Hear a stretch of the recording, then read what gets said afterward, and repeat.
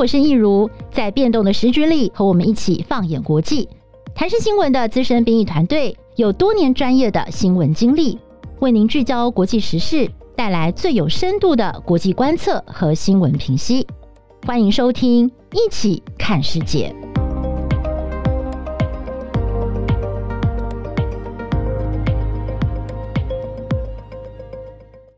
大家好，欢迎收听《一起看世界》Podcast，我是易如。哎，今天的《一起看世界》呢，我们邀请到的特别来宾，哎，今天我们又要来玩这个 crossover 了哦。那我们请到的这个团队哦，就是我每次念到他们名字，说实在，第一时间有被吓一跳哦。就是我们先不用去讲怎么写，就是你光是听这个音，吃屎，嗯。你会不会很想知道说，哎，到底怎么写才对呢？嗯，好，我可能不知道这样会不会对三位不好意思啦。我们来介绍一下，就是我们今天吃屎的团队。这三位特别来宾哦，首先介绍的是浩宇，嗨，Hello，大家好，我是吃屎的主持人，然后也就是也是目前负责写稿的，我是浩宇。你好，浩宇，你好，好，再来是戴鑫，Hello，大家好，我是吃屎的戴戴，然后本名是戴鑫，对我现在在吃屎就是有呃写稿内容的产出，然后还有包括剪接的部分。再来是魏思黎，Hello，大家好，我是思黎，那我现在在吃屎里面。我负责跟商业合作有关，然后我是吃屎的小编。其实呢，吃屎两个字，哎，大家不要怀疑，就是吃东西的吃，历史的史。所以呢，我们从这个呃望文生义来解释的话呢，就是呃他们的这个 podcast 的产出，其实都是透过实物来看历史，而且我真的觉得非常的精彩。就是我听了好几期，我觉得我自己都学到非常多的东西哦。那所以当初怎么会有这样子的构想？还有，我觉得这个名字取得非常的好，很特别，让人眼睛为之一亮。听说浩宇是取名王，是不是？诶，其实这个名字，它它背后也算是一个美丽的误会了。是，在去年二零二零年，因为我本身是个剧场创作者，然后二零二零是一个疫情爆发的时候，然后剧场的情况或艺文产业的情况非常严峻，所以基本上我失业了四快四个月左右。然后在二零二零年初的时候，我那时候有想过要不要转职去其他领域试试看，所以我就丢了某一个 U 美食 YouTuber 的企划，就丢了这个职位。然后他的履历就要求说，哎，帮他们想一些企划这样子，然后去甄选。然后那时候吃屎这个 podcast，它的企划就是那个时候我丢给那个 YouTuber 的，因为他是一个做美食的。然后我本身喜欢历史，所以我想说，哎，他是做吃的，我喜欢历史，那就吃屎这样子。哦，原来是这样出现的。对，原来是这样。然后。好，很明显的就是为什么会现在在做 podcast，因为我那个我那个计划没上，对我那个工作没有拿到，然后没有拿到，我想说好，那我就拿回来自己做这样子。所以在去年五月左右的时候，就是一模一样的计划，只是我把它转成 podcast 的形式这样子。哦，对对对，我听了你们的节目，我觉得你们内容真的是琳琅满目，涵盖了就是各种不同的料理，而且是我们生活当中就是呃有一些是我们常常会碰到的，例如像我印象很深刻，有一集讲到那个玛格丽特披萨。嗯，这个，是意大利的，然后从它的这个颜色去看它的国旗呀，然后去讲很多历史。那还有呢，接着就是我们今天要选的四个食物，哎，我觉得也是非常的酷哦，就是。包括了呃，我们会我们会跟大家聊到这个巴西的国饭，就是巴西豆饭，巴西豆饭国菜，嗯，大家它的背后的故事。然后再来呢，第二个就是这个美国经济大萧条时候大家吃些什么东西。然后再来呢，就是我个人很喜欢的抹茶，日本抹茶。对，还有呢，就是这个马卡龙哦，对，就是对这些呢，就是你们团队其实之前都有一些非常精彩的一个介绍。好，那我想就是接着请戴鑫聊聊，就是当初你怎么会有兴趣，就是你来。参与这个工作。哦，因为其实最刚开始那那个时候浩宇开始做的时候，我是有正职工作的，对，所以刚开始其实都是他先产出，然后他产出之后就会就会给我给我看一下这样，然后我就觉得哎，这个东西很有趣，因为对我来讲，以前我们在上历史课的时候，我们就是学事件，然后学年代，然后去背那个人名，所以它比较像是一个点状的，然后我没有办法去去想象。在那个时代的人，他们可能的生活形态或是长什么样子？然后我个人对这件事情很有兴趣，对，所以后来呃，我发现就是用这样子讲故事的方式，我们可以去了解更多这个面向的事情，所以才慢慢的开始协助他。哦，而且我觉得戴鑫他有把那种剧场的元素带到你们的 podcast 里面，就是很多那种光是用声音来讲故事，其实也可以非常的丰富。因为我常常听到你们有很多在音效上面的配音跟设计，其实都非常的别出心裁。对，那接下来请卫斯理来聊聊吧，就是呃，你为什么也会想来参加这个吃屎这个团队？我大概是在他们开始做到大概快二十集的时候，因为我跟戴鑫是好朋友，我们是一起跳舞认识的，然后我就觉得他们做这个东西非常有趣，然后里面涵盖了很多剧场的元素在里面，他们家很有刚刚讲到他们家很有趣的音效什么之类的在里面，然后我就觉得，因为我在开始跟他们一起做之前，我自己有在做 podcast，我比他们再早一点开始做，然后我后来自己的频道就因为我时间很忙，我就暂时先放着，然后我就觉得，哎。他们应该很有机会把这个频道就是做得越来越精彩，越来越有趣，所以我就跟他们提出说，不然我跟你们一起，我来帮你们经营社群，然后来帮你们处理一些杂事，然后让你们可以专心的在内容上面产出。这样哦，原来是这样。OK，那我们首先第一个呢，我们来讲一下这个美国经济大萧条期间呢，就是人民都吃些什么样的食物。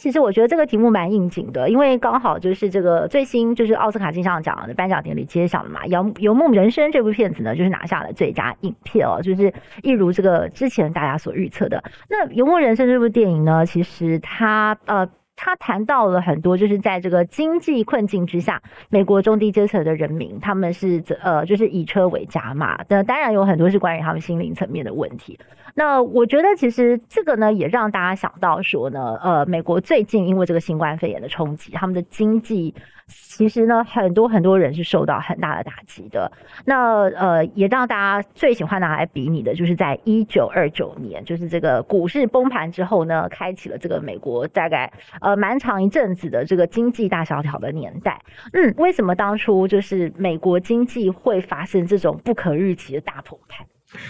呃，他如果把。时间点往前推一点的话，经济大萧条大约发生在一九二九年左右。那它的起始点大概在那个时候。那在一九二九年，就是一九二零到一九二九这段时间里面呢，被历史学家称为“咆哮的二零年代”。那会叫咆哮的二零年，就是代表那个时候，因为二呃一战刚打完，一九一九刚打完，打完之后，大量的退伍军人回到美国之后，他们就开始从事生产啊、制造产业等等之类的。然后像是福那个福特有一有一台很有名的叫 Model T，T 型的很经典的一台福特车，就在那个时候出现的。嗯，对，所以在一九二零。在一段时间里面，美国的经济非常非常的快速发展。哎，这让我想到那个大亨小传哎，其实就是大亨小传就是就是在那个年代发生的事情。费兹杰罗写的嘛，对对对，哦，The Great Gatsby，对对对对，他描述的非常好，大家对于前景的想象都是一片好的，乐观，对，非常乐观。对，其实有一点像是呃，二零二零后半年的股市市场哦，就是呃，因为之前有人讲说。二零二零后半年，就是如果你是那个时候进到股票市场里面，猴子都会赚钱。哦。对，就是 因为当然我们经历过美股熔断，而且连续三次的美股熔断，熔断之后。之后的股市飙涨是真的是一条线往上冲，这样就跟火箭一样回不来那一种。嗯，然后是到了最近才开始修正。嗯，这边说，哎，那个时我我可以想象，就是在一九二零年代的时候，可能大家哎就是从事生产啦，有一些闲钱啦，都不知道放哪儿嘛，就来投资股票。那股票一直涨，一直涨，那它背后总是要有个利基啊，哎，也不知道为什么，对不对？大家就很乐观啊，可以啦，就赶快投这样。对，而且那时候已经是乐观到没有一个人有危机意识，然后包含没有开杠杆，然后开到爆。就是不管怎么样，三七二十一就是开下去，而且不只是呃一般的民众在开杠杆，连银行本身自己也在开杠杆，因为银行可以你开杠杆会赚会赚钱，对对对，然后赚到钱可以拿去做其他投资，对，所以银行才会有收入。所以从一般老百姓到企业到银行，全部都在开杠杆。哦，但是需求其实到后来呢，没有那么多。嗯，但那些钱就不断的在杠杆一直起来，一直起来，一直起来，所以它的钱算是被滚出来的。嗯，对，那。这很明显就是基本面跟需求并没有赶上股票价值，对，所以就会遇到一波修正。哦，然后那一波修正很恐怖的，就是因为杠杆开下去，修正就会是更大幅度的修正。对对对，所以在一九二九年的时候就爆发了一个崩盘。哇，那崩盘之后，为什么美国的经济全垮？在一九二九年后面的时候，那时候股票以当时的数字来说是三百八十一点，在当时啊，对，但是现在看三百八十一好像是一个很小数，但是当时是三百八十一点。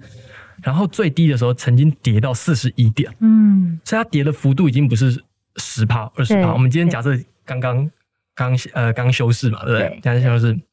假设我们今天打开台股跌了十趴，大家会很紧张这样子。对对，可是三百八十一到四十一，这已经是好几百趴的东西了。哇，对所以对，哈哈，我觉得那个一路崩盘，除了一开始的基本面没有撑住整个股票市场之外呢，嗯再来真的是人性。嗯哼，大家看了会怕，怕会跑，嗯跑怕资金撤出，资金撤出之后，所有的股票会一路往下跌，这样。所以啊，那个时候就是我觉得是因为呢，很多的这个企业哦，不管是大企业还是中小企业，因为这样子的崩盘，开始呢发不出薪水，对，然后很多人本来有有工作的，哎，那我我已经发不出薪水，我当然把人解雇了那很多人就开始失业，失业之后呢，呃，美国那个时候其实很流行，就是领那种 weekly 的呃 pay 嘛，就是是周薪。我我这一周有工作我才有钱，那我如果下周没有工作，我那那我就是没有钱。所以那个时候的惨状就是真的，那时候是胡佛当总统的时代对，然后呢，就是很多人失业，然后也没有饭吃，所以。那个街街旁哦，就是很多人都搭帐篷，有点像是这那个新冠肺炎的时候最严重的时候，也是有很多美国人是在搭帐篷，在洛杉矶的市中心。嗯，对，因为就是真的是没有钱了，然后他们就会戏称，就是把它取一个很讽刺的名字，说这个叫胡佛村。对，就是我们就是因为这个总统处理不力，所以我们大家现在都住在这个虎佛村里面。对对对，那这整件事情后来呢的这个转机，也是因为就是他们当时选出一个新的总统叫罗斯福，嗯，对，然后他推了新政，而且他有一连串蛮霹雳的，就是现在看起来是非常前卫的一个改革跟嗯。拯救的手法。例如说，他上任没多久，就是银行先全部关起来重整，就是我要先确定你们这些银行的这个能力是没有问题的，你们的经济钱状况，对对对对对。运是等等，因为那时候其实银，我们刚才一开始讲的说，银行在一九咆哮二零年代的时候狂开杠杆，对对对对所以当股市一跌的时候，很大一部分也是银行狂倒，对对，然后大家就想要领钱，领不出来，这整个社会氛围就更紧张了，对。对，所以他那个时候先让银行休息一阵子，确定你们的钱要提出来能力没有问题哦，什么什么的开，然后才慢慢的让民众。付出就是很多的轨道，还有就是他那时候推了很多的行政，然后让大家就是政府大投资嘛，就打对傻币，就有点像是拜登现在在做的事情，然后让大家可以加入就是这些公共建设，才慢慢的把这个美国的经济带起来。但也是经过这次的股票的这种狂跌，就是美国对于股市的管制，还有他们也开始设了很比较多的限制，就不能让大家就是这样子疯狂的去投，然后这个涨跌就是呃。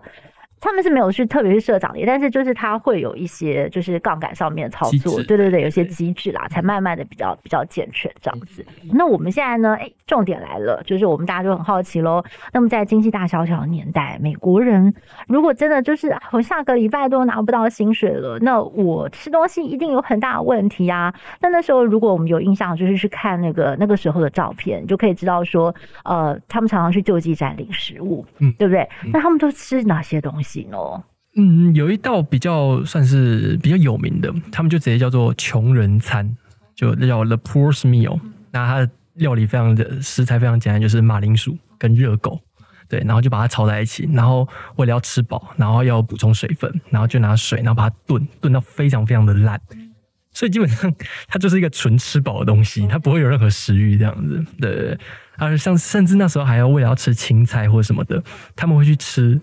那个蒲公英。蒲公英啊，蒲公英可以拿来吃吗？但不是不是我们那个吹然后撒出去对那一块，对对对，是它的来煮，对不对？料理，对对对对，你可能是它的叶子啊、它的茎这样子，哦对对对，哇就。当时真的是大家想到什么就吃什么。那还有就是那还有一道菜是蔬菜，对不对？蔬菜跟意大利面的是红萝卜红萝跟卜意大利面。红萝卜跟意大利对，面、哦，因为你可以想，我们现在假设很穷的话，我们我们就会吃泡面嘛。对，但那个时候其实这种加工食品还没有出来，所以他们真的就是找最便宜，他们随随处可得。所以像那个呃红萝卜跟意大利面也是刚像刚刚浩宇讲的一样，他们就是加水，然后把它全部煮在一起，煮到非常非常烂这样子。对，所以对于不喜欢红吃红萝卜来讲，可能会很痛苦，哦味道会对超重。嗯，像我就不喜欢吃红萝卜，那我觉得我可能如果真的要吃到菜，我这个可能会难以下咽。不过让我想到以前就是我我我就是呃大学的时候，我有真的到美国去念 summer school，就是有在那个学生餐厅，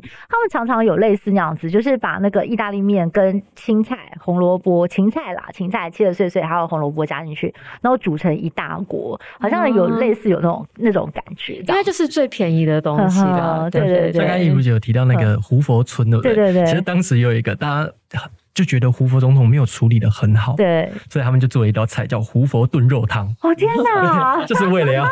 讽刺你这个总统。那里面是什么呢？里面是什么？里面内容就是像也像我们刚才讲，就是很便宜的，比如说切碎的意大利面哦，对，然后还有热狗啊、玉米跟豌豆这种比较便宜、比较容易取得、也比较容易种植的东西，然后就丢在里面加水，全部炖在一起。哦，讽刺他就是，对，而且像 还有像例如说在街上的人，他们盖的那个。毯子，他们叫它胡佛毯哦，就是有各式各样的胡佛产品这样。所以胡佛那时候的那个声量，讨论声量很高，可是都不是对超多的，可是都不是什么好的事情。对。而且那个汤，因为那时候很穷，所以他们都会要弄得很有饱足感。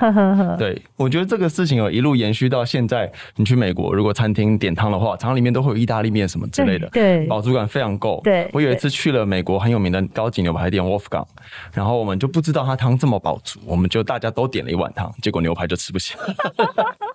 哦，原来是这样。嗯，美国的食物真的有些分量真的是蛮多的。非常大。好，在这个经济大萧条的时候呢，就是美国的人民一般的人民吃的食物哦。OK，在这背后有一段，我觉得也是蛮悲情的一个岁月跟故事啦。第二个呢，就是我们来聊聊啦，就是跟最近也是新冠疫情很有关系的，就是我们知道最近包括印度，还有呢就是巴西，他们的疫情呢都是还不断的在上升，其实让大家很担心，尤其是在巴西。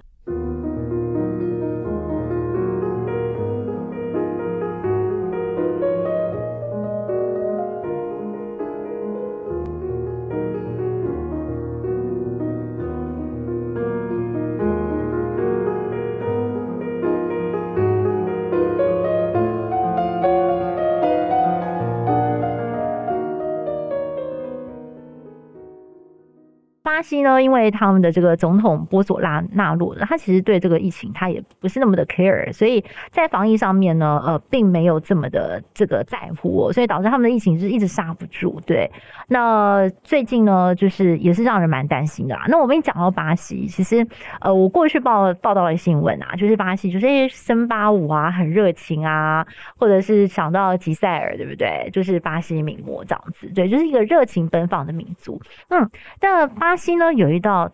国菜叫做黑豆饭，它呢就是可以说是非常代表巴西的菜。哎，我想问一下，你们在台湾有吃过吗？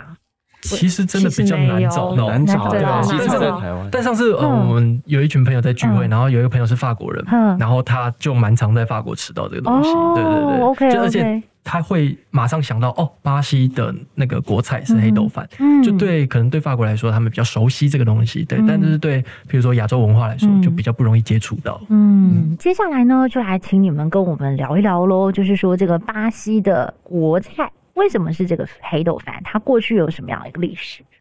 黑豆饭其实它的食材也是非常简单，就。菜如其名，就是黑豆做成的饭哦，黑豆做成的饭。所以用听食材内容来说的话，可能就是没有那么富裕的人吃的。它有配菜吗？它有配菜，会有一些简单的肉碎肉，然后一些简单的青菜这样子，就是不会是它的它吃起来也有点像是炖饭的形式，就是一碗这样子，然后没有很多浮夸的什么小菜啊或配菜都没有这样。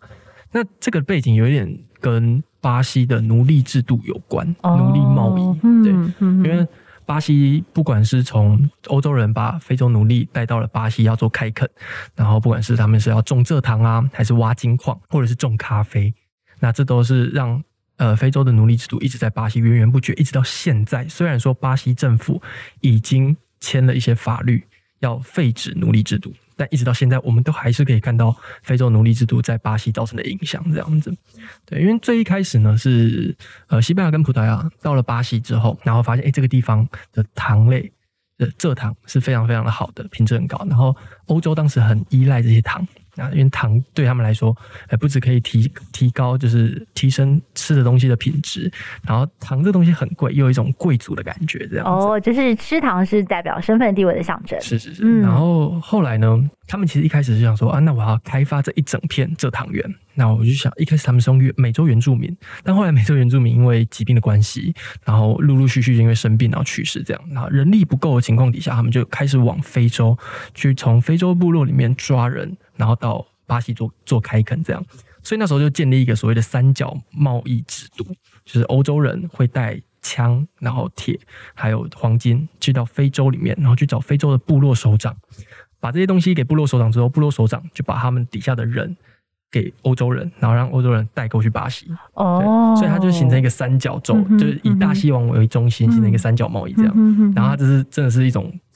在获利上是一种暴利了。暴利所谓哦，是有多暴力呢？就是说它的这个呃差价差有多大这样子？我记得那个时候，嗯那个时候那个浩宇有一个比喻，对对就是他说就很像是你用一台 Toyota 去换嗯一台玛莎拉蒂哦。这种感觉，因为你你是拿火绳枪，对。然后带回来是蔗糖，然后蔗糖那时候是非常高经济价值的作物，嗯哼。对。对，而且这个三角贸易制度一直都没有停过，因为在巴西挖到的资源越来越多，嗯哼。对，然后嗯。一直到现在，基本上巴西还是还有很多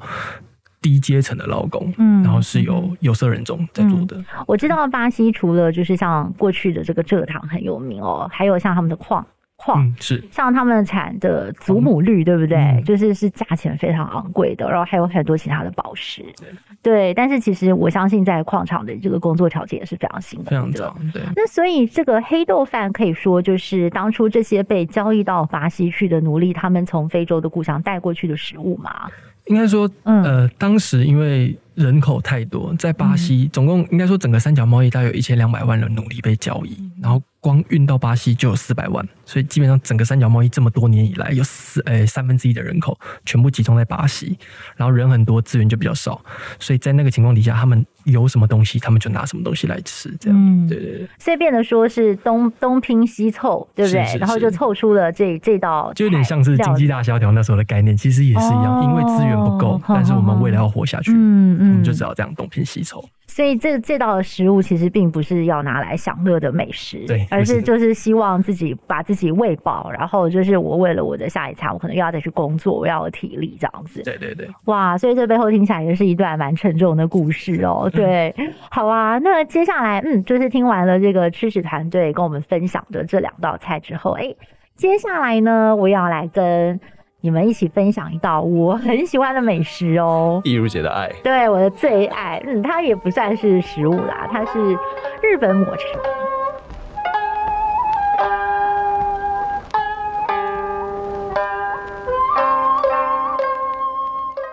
那为什么会喜欢呢？其实是我在呃大概二零一五一六吧，就是我去日本玩的时候啊，就是我我就是觉得他们的抹茶非常的好喝，然后后来我又去了一趟京都，哇，那京都完全对，就是抹茶的故乡。然后我觉得我光是走进他们那个车站啊，就有好几家那个抹茶店，我就完全出不了那个京都车站的大楼。对，我就每天跑去排队耶，就是 加上那时候八月，外面天气热爆，这根本就不想出去，所以我现在每天呢，就是把抹茶当三餐吃，然后就抹茶冰淇淋、抹茶拿铁，然后还有抹茶荞麦面，然后什么抹茶咖喱一大从堆哦。咸的到甜的全包，对，然后我就觉得抹茶真的是一个太赞的食物了，因为我觉得光是看它的颜色，我觉得非常的疗愈，就是那种一抹浓艳的绿色。对，而且我觉得抹茶就很可爱啊，因为我我很我很喜欢一只玩偶叫大耳狗。对，然后大耳狗就是三丽鸥的有一只大耳狗这样子，对，那就是那只是那个茶杯狗吗？是茶杯狗，不是，它是一只就是耳朵会就是大大的大耳狗，会飞的，就很可爱这样子。嗯对，就就是它是大耳狗，对对对。哦，就这次对就是它对就是它然后就是京都的那个，他们有一间三丽鸥的咖啡厅，就是大耳狗咖啡厅哦，他们就帮他做一个主题餐厅，然后连那个大耳狗的帽子都是抹茶色的。然后呢，它的 屁，它它那不是开玩笑的，我本来以为说这是不是巧合，没有，大耳狗它它的招牌是它的屁股有一个肉桂卷。就是是它的、哦。它的那个尾巴卷起来很可爱嘛，这个肉桂卷，那它的肉桂卷居然还长出两两片茶叶，抹茶叶，就是日本京都多爱抹茶，然后对他们这个抹茶的文化是多么的骄傲哇！所以我那时候去啊，我就跑去那个呃京都那边，就是有一条非常有名的那个街道，就是他卖了很多那个呃茶具。对，然后我就去买了两个抹茶碗，然后我就把它带回来，然后去买那个真的叫茶筅，就是嗯你要用磨的那一种，对对对，要去打那个泡，然后后来去买抹茶粉，然后就带回家，然后我就从那时候开始，我就常常自己在家里泡，呃，就是做抹茶，然后甚至还会研发要怎么样做好喝的抹茶拿很铁。疗愈那我蛮好奇的，就是嗯因为呃，我我没有去过日本，嗯去喝到这么道地的抹茶，嗯。但我好奇的是，因为我在台湾喝到抹茶让我没那么喜欢，原因是因为它的苦味真的太重了，哦。那个苦其实是涩的，就有点像是茶泡太久的，哦的那种感觉。哦，对，所以我我想跟玉如姐请教，要怎么解决那个问题？就是哦，我觉得就是可能有时候，呃，因为像日本的抹茶，它有很多花式的做法。如果你真的觉得太苦，你可以加一点牛奶，就变成抹茶拿铁。但是其实如果你选的是非常好的抹茶粉，其实喝起来不会到这么苦、欸。嗯，对，所以我我那时候就是在日本当地买的抹茶粉，我觉得泡起来有一种。苦了之后会有一种回甘的味道，就我觉得那也是很酷。还有就是，我觉得有时候它配冰淇淋，就是反而就是因为冰淇淋它有时候可能会加一点点糖，对，反而那加起来就是感觉那味道中和就刚刚好。我在想，会不会是台湾湿气太重，然后影响那个茶粉的保存的感觉？因为我知道有一些，因为我们家很喜欢泡茶，然后有些茶叶如果没有好好保存的话，它可能因为太湿，就不管是谁勾啊，还是怎么样的，哦对，然后泡起来就会很苦。这个我这个我就我不太确定会不会是。这对个可，能不过后来提到你也喜欢喝茶，其实我自己也很喜欢喝茶。对，我不知道戴戴跟威斯理你们我爱对奶茶。你喜欢喝奶茶是不，是？我们两个是奶茶 派。哦，你们是奶茶派是不是？对，那我是自己从小，因为我的爷爷是茶农这样子，哦对他们哦从从小就是种茶，所以我们家就是都有在喝。那我是到了日本去喝了抹茶，我才。就被惊艳到，所以我后来我特别回去查说，哎、这个抹茶的历史啊，到底是怎么来的？它跟这个中国的茶又有什么样一个不一样？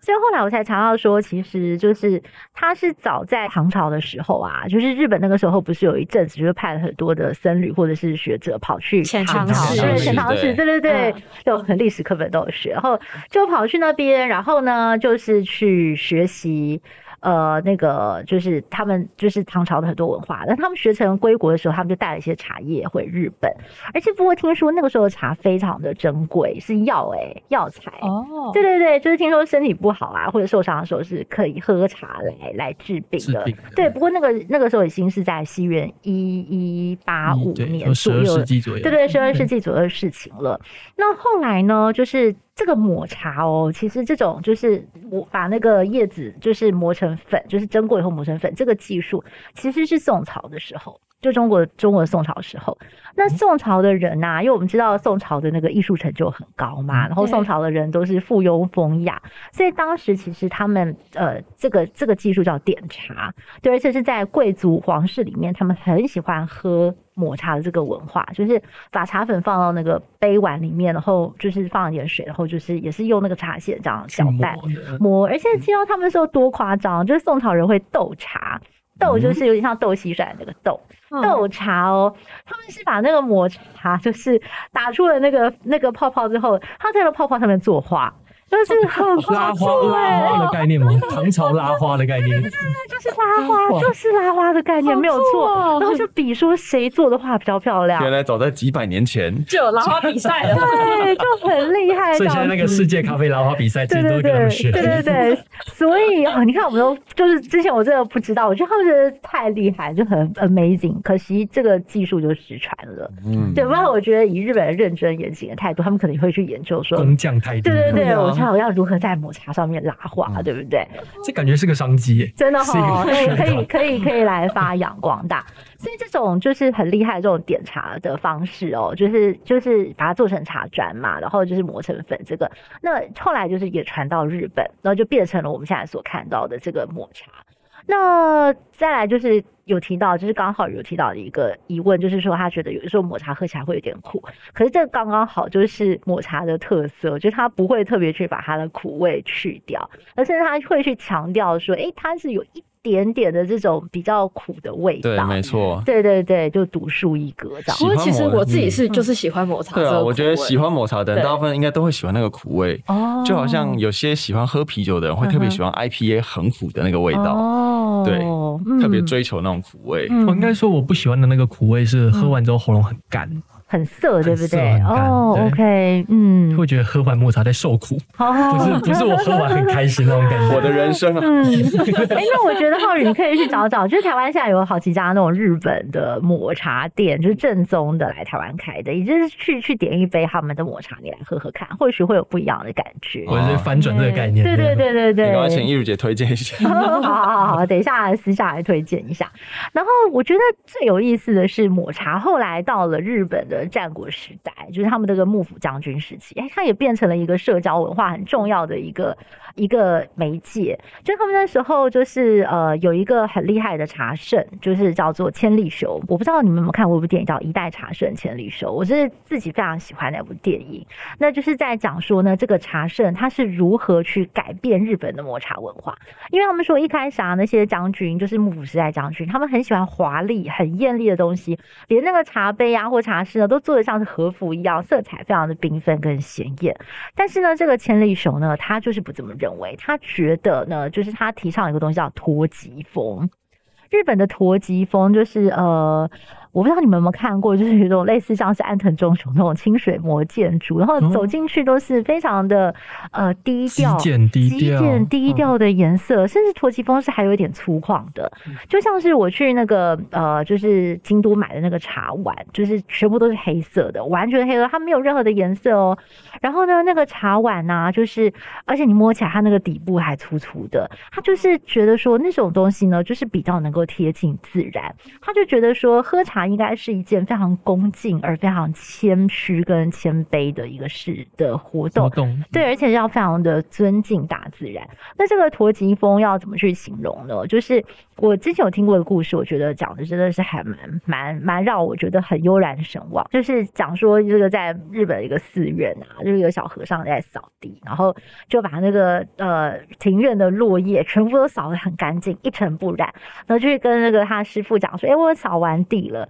结果他的师傅一看就说：“ 你这个地扫的真是没有美感。”就把他骂了一顿。然后扫的没有美感，对，然后好难哦。干净还不够，要有美，感。和尚就那个小和尚觉得，他说我到底是做错什么事情了？然后那个老和尚说，嗯，我来扫给你看。结果呢，他就说你现在已经扫得很干净了吧，我就不再扫了。他就跑去旁边的树干，就开始抱那个树干开始摇，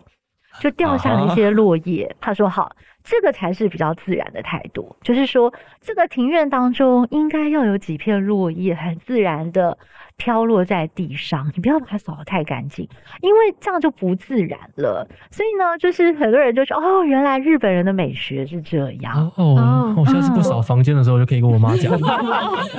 学到了一课呢。这蛮好用的。哦对啊，就很有。我现在看到一个，他说他嗯就是用一种比较轻松的态度来看待这种就是嗯很短暂啊、自然的这种，然后他们就是很喜欢就是世间万物的一些不完美和缺陷的东西。对对哦，好，有趣哦！对啊，所以他们说那个时候就是这个千利休啊，他也特别把这些茶具改良，从那种呃当时的那种非常艳丽的颜色奢华，改成呢叫做什么和静清奇，要接要追求的是内心的和和谐，跟一种非常恭敬优雅的方式。他们觉得这个才是日本茶道的这个精髓。所以呢，千利休的茶室啊，听说你进去的时候，你还要弯着身子，因为它的门开的很小，然后屋檐也是弄得很低。然后进去以后呢，你好像觉得哦，好像非常的简朴，好像什么都没有，就只有一个小方桌，然后就是把那个器具摆。但是呢，呃，它的插花的作品跟墙壁上挂的画，其实呢也要配合四季的节令。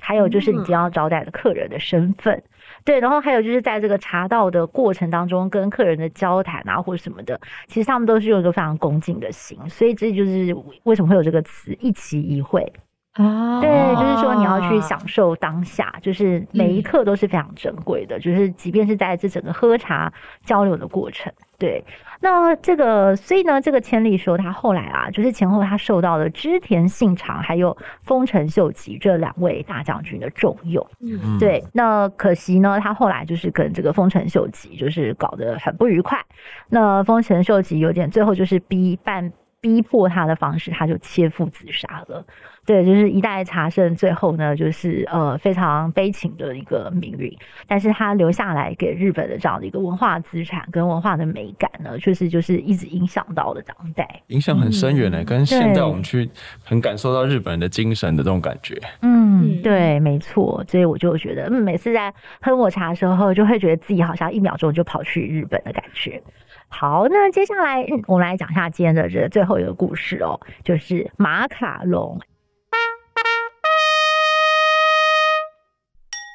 哎，我觉得马卡龙啊，就是对这个台湾的听众朋友来讲，应该不陌生，因为台湾有一阵子掀起了马卡龙热潮，所以到甜点店呢，你就会看到马卡龙，然后呃，大家就很喜欢马卡龙的颜色，因为它非常的缤纷，而且它又非常的可爱，所以呢有这个马卡龙色，对不对？啊，对，那我自己就是，其实我有一阵子也非常喜欢吃马卡龙，就是也是因为台湾的时候有那个马卡龙热潮嘛。那呃，我记得那时候法国有一间非常有名的店哦，就是呃，我们待会儿在这个节目当中应该会提到，他有特别跑到台湾来设柜，他那个没错马卡龙卖的超贵的。那呃，但是的确就是很好吃，但是它就是标榜它是从法国空运来的嘛，对。后来就就就呃，可能是我不晓得是什么样的原因，他们就没有继续再设柜了。嗯，但是我就觉得马卡龙啊，就真的是非常酷的一个食物。嗯，好啊，那接下来来请教一下浩宇吧，就是这个马卡龙的历史，我们现在都一直觉得它是从法国来的，可是事实上不是，对不对？它最早不是从法国来的。诶、应该说发明它的人，嗯或者是让他有这个机会出现在国际舞台的人呢，嗯是一个意大利人。哦然后这一个这个人他叫凯撒里梅蒂奇，呵呵就是意大利佛罗伦斯一个非常有名的梅有，蒂奇你要听。到梅蒂奇就是肃然起敬，对，梅蒂奇后面就感觉后面一堆钞票在，一堆对对。对对对对对，梅蒂奇他好像就是是那个呃欧洲最古老的银行，对不对？是之是是一嘛。对对我有去过佛罗伦斯玩的时候，我就是从那个时候我才知道说，哦，原来马卡龙不是在法国。对，马卡龙最早的这个发明人是从梅蒂奇家族出来的。是是是。嗯那，其实这个凯撒里梅利，他他也他的身世也蛮坎坷的。虽然说马卡龙是一个非常甜美、甜蜜，嗯然后感觉很可爱的一个东西，对但发明他的凯撒里梅利奇，他的出生背景其实没有像梅蒂奇这么的辉煌。哦，真的吗？因为梅蒂奇感觉就是。你只要出生在梅第奇家族，你就是一个呃躺在躺在家里当富对对对对富三对对十代那对对对对，就是就是在家里数钞票，对或者是含着金汤匙出生。因为我对梅第奇的印象超深刻，因为那时候去佛罗伦斯玩嘛，这导游就讲说，哎、你只要来到佛罗伦斯，我们就只有一个 history，就是梅蒂奇的家族的故事，没有别的了，是不是？没有别的了，真的就是我们的整个城就是梅蒂奇，就是梅蒂奇。他说哦，例如你看我们这个圣母百花大教堂哦，这个屋顶就是梅蒂奇家族聘请的工程师完成的。然后走到哪里去就是，哦，这个是梅蒂奇家族的什么什么的，哦，然后这个长廊呢，嗯，梅蒂奇家家族盖的，哦，还有上面还有另外一个别墅也是梅蒂奇家族，就到处都是梅蒂奇。梅蒂奇家族非常非常的有钱，所以他们那时候真的赞助了非常多的，不管是科学家还是艺术家，像米开朗基罗或达文西，他们都有赞助这样子。那其实美第奇他在佛罗伦斯的历史上面有一个蛮特殊的角色，就是所谓的建筑，有点像是地下市长的概念。对对对，就是虽然说市长不是他，但要做任何政策之前呢，嗯都会去问一下，哎、你觉得这个怎么样？你觉得那个怎么样？这样子嗯啊，他们通过了才会继续实行下去。而且他们那时候很厉害哦，就连这个欧洲的教皇，对不对？他们都可以去影响，甚至还能够安排自己的对梅利奇家族的子孙去当教皇。梅利奇总共出了三位教宗，对他们家家族出了三位教宗，然后两个法国皇后。哦，对，那有一位就是我们今天讲这个凯撒里梅利奇这样嗯。浩宇刚刚讲讲说这个。这个凯撒林，他是一个梅蒂奇的人，那为什么他的出生反而是比较辛苦的呢？因为梅蒂奇家族底下有非常多分支，对，那他他是其中一个分支，但他小时候的时候，他父母就去世了，所以后来就被送到修道院，然后在修道院里面，因为毕竟他还是梅蒂奇的家族的一个形象，所以你该学的还是要学，不管是艺术、文化、宗教等等之类的，你要把自己准备的像是一个梅蒂奇的样子这样，然后。呃，那时候的女生基本上，如果你要呃，应该说美第奇家族，如果你要有更大的影响力的话，就要想办法跟其他国家的王室有一点有一点交集。那以女生的角度来说，最快的方法就是联姻，嗯，结婚对，结婚。我嗯如果可以娶到，我应该说，我如果可以嫁给一个非常有名的皇室的话，那美第奇家族就有对那个地方有影响力。这样，凯撒琳美第奇呢，他的叔叔，就是克莱芒七世，他就把他安排嫁到了法国。就是那个教宗吗？对，他就是其中一位教宗。嗯然后克莱芒其实还有另外一个很蛮比较有名的，就是英国国教亨利八世是呃英国国教亨利八世创的。然后亨利八世那时候为什么会创英国国教？因为他原本是想要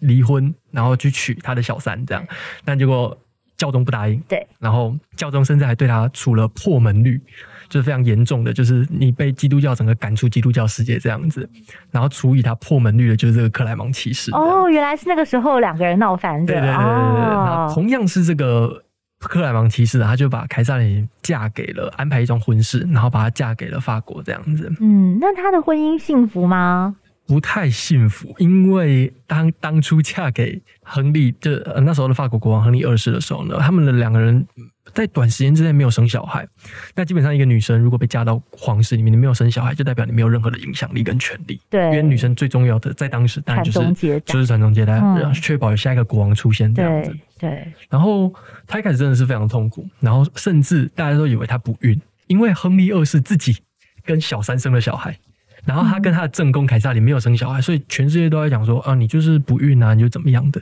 那凯撒琳那时候还试过很多偏方，就是那种怀孕偏方，什么喝母鹿的尿，或者是做一些奇奇怪怪的活动这样子，哦，所以他的生活非常痛苦。那嗯。后来他是去找他的公公，就是亨利二世的爸爸，嗯去找他求情说，哎、你可不可以跟你儿子沟通一下，子沟通一下，对 或者是跟我跟你儿子讲一下嗯。那个小三的部分，先不要那么积极这样子。嗯，但后来事实证明，凯撒琳梅利奇没有不孕，嗯。她反而还生了十个小孩，哇。对，哇，而且是连续在十年之内就生了十个小孩这样子。OK，嗯。对，那但是虽然说凯撒梅利他的确最后成功了，生了十个小孩，然后感觉好像说，诶，他尽了他的责任跟义务对，在当时来说的话对，但他一直还是没有取得一定的权利，在法国的同事里面，他还是被排挤的。嗯哼。然后自从这自从亨利二世去世之后，他基本上就是一个皇后，变成一种皇太后的角色，嗯然后换下一个人。就是法兰西斯二世，他的儿子对不对对？他的儿子。嗯法兰西斯二世上位之后呢，他也不太想要把权力分跟他，就是跟凯撒琳梅利奇分享。哦所以凯撒那琳梅利奇应该很生气吧，就很生气啊！他觉得他已经忍了很久了对，然后为什么我没有拿到这个权利这样子？所以他又被冷冻了。哦，妈妈把儿子冷冻起来，没有，不呃，那个哦儿子妈妈妈冷冻，因为毕竟儿子是国王，他是把妈妈冷冻。然后那时候凯撒又是非常的忧郁，然后一直一直到呃第三任，就是法兰西斯二世的下一任国王。当上了呃，就是亨利诶查理九世之后查理九世之后呢，凯撒琳梅利奇这时候才得到的权利，因为查理九世是个妈宝，哦，所以查理九世也是凯撒琳的儿子，嗯、哦。就是之后之后呃流传下去的这样，流传下去哦，所以是哥哥传给弟弟。嘛，对对对。哦，原来是这样，然后他那个时候就终于拿到权力之后呢，他其实这个时候才显露出他其实是一个非常厉害的政治人物。嗯，那时候法国的新教跟旧教其实在吵架，然后他为了要维持他自己在皇宫的统治地位，他很仔细的去控制新教跟旧教的势力，不会让其中一派突然起来，然后另外一派突然掉下来这样子。但这一切的后果到后面藏不住，就是整个爆发了，嗯。所以新旧教之争就爆发，所谓就是圣巴托罗缪大屠杀，嗯这是在宗教史上一个非常重要的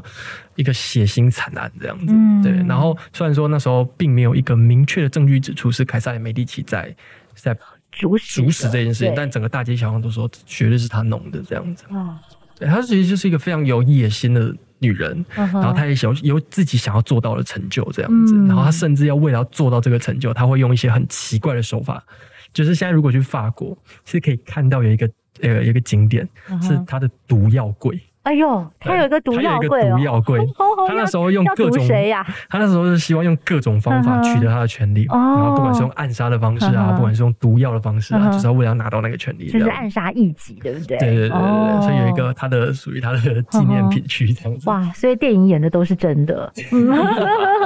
哇，所以这个我们平常在吃马卡龙的时候，我们都没有想过，就是背后的这个凯撒琳是马卡龙，是不是一开始就是凯撒琳他从梅第奇的这个就是佛罗伦斯带过去的食谱，可以这样讲吗？就是这个点可以这样讲，不过嗯有一个、有另外一个传说是，其实马卡龙它是来自中世纪的修道院，然后那个时候是他们想要发明一种呃素食的点心，所以其实刚开始的马卡龙也没有中间的那个馅料，它其实就只有呃一片饼干的的这种感觉。那个馅料其实是到很后来才、才加进去的。哦，对了解。但这个食嗯物的确就是凯撒里梅第奇带去带去的食谱，对，因为那个马卡龙很好像很不好烘焙哦，它就是蛋白嘛，对，然后下去调的，然后就是一个不小心就是温控不好会裂裂掉，或者就是会会整个塌掉，对不对？对，所以它的制作难度超高的。对，而且就连嗯包装都要很讲究，因为很容易碎掉。对对，所以我还记得就是那个呃，有一部电影叫做《凡尔赛拜金女》，对不对？就讲那个嗯玛丽安东尼。对，然后那个时候就是是他的那个那个电影的场景，就是让他旁边堆了超多的马卡龙。然后安东尼是十呃法国国王路易十六的，对对对对对对对。所以我就在想说，那那是不是真的就是在那个路易十六的时期，就是大家在皇宫里面都爱吃马卡龙啊？因为法国皇室的那个饮食文化最兴盛，其实是从路易十四之后，他就有路易十四建立了一整套。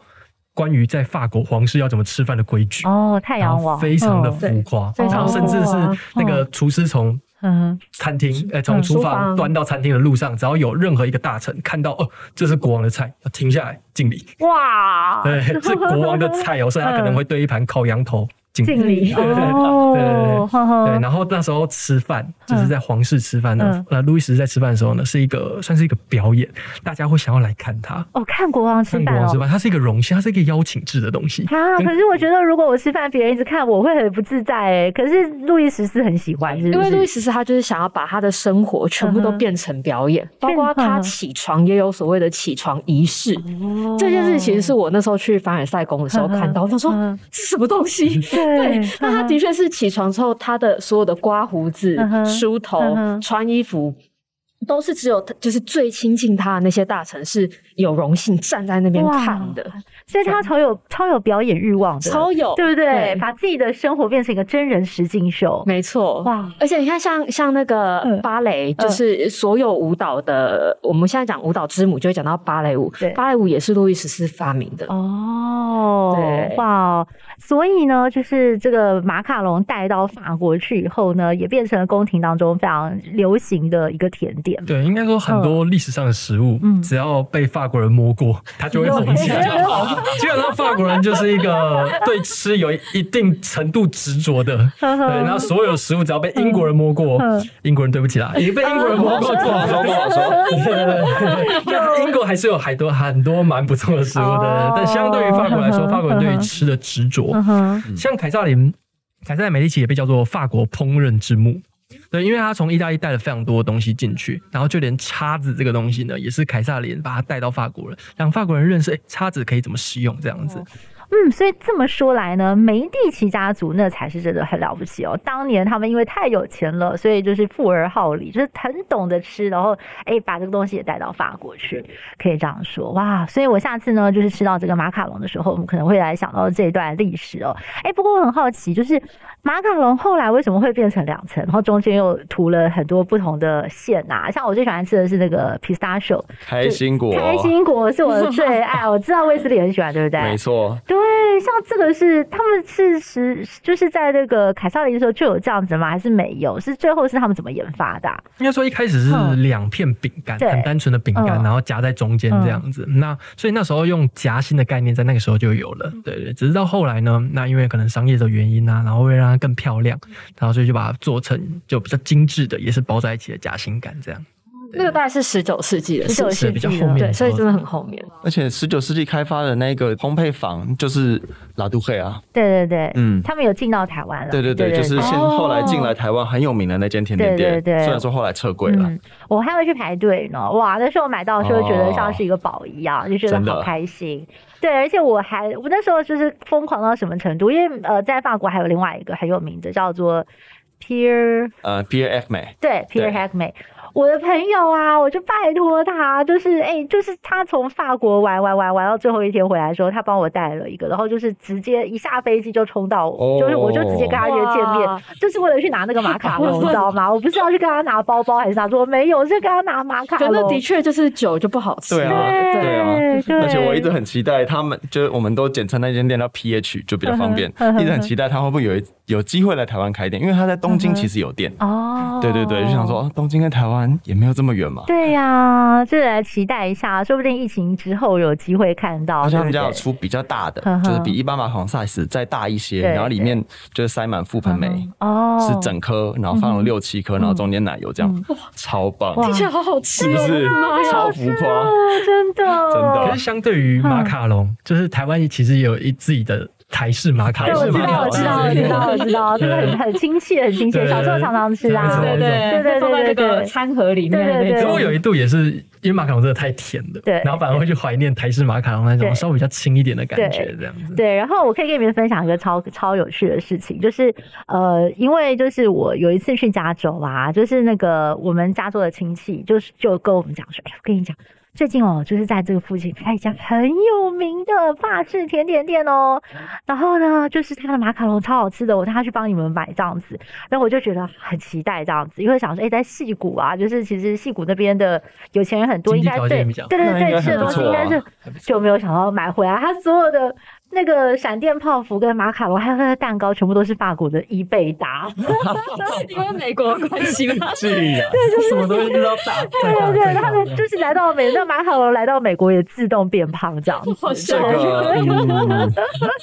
哎、对这个东西其实蛮有趣的，因为我呃两年前去纽约，嗯然后也是他们的汉堡、他们的鸡块就是放大、放大再对对放大。对对对对超大对，所以我那时候看到那个马卡龙，就觉得哭笑不得。好好笑马马卡汉堡对，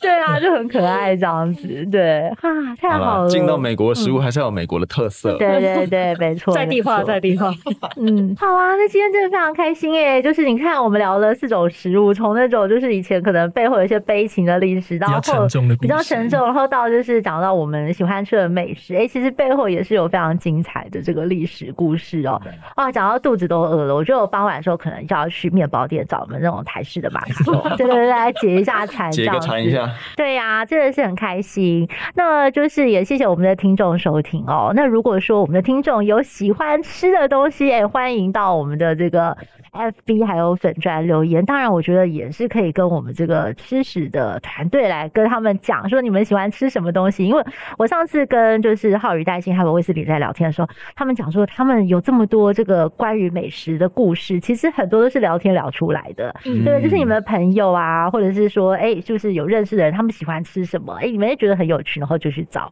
他们的历史故事。对啊所，以，嗯，也可以欢迎我们的听众，就是可以提供你们想想要听的关于吃的历史故事，也可以告诉我们吃食的朋友们，这样子。欢迎欢迎。对对对，好哦。那我们今天非常谢谢三位来到我们的节目现场，然后跟我们聊了这么多。哦，就是关于吃的故事，很开心，很开心。谢谢，谢谢谢谢。好，那我们就呃，这个也要再预告一下，请大家准时地锁定我们的《一起看世界》，每个星期六晚上九点钟，别忘了。我们下次见，拜拜，拜拜。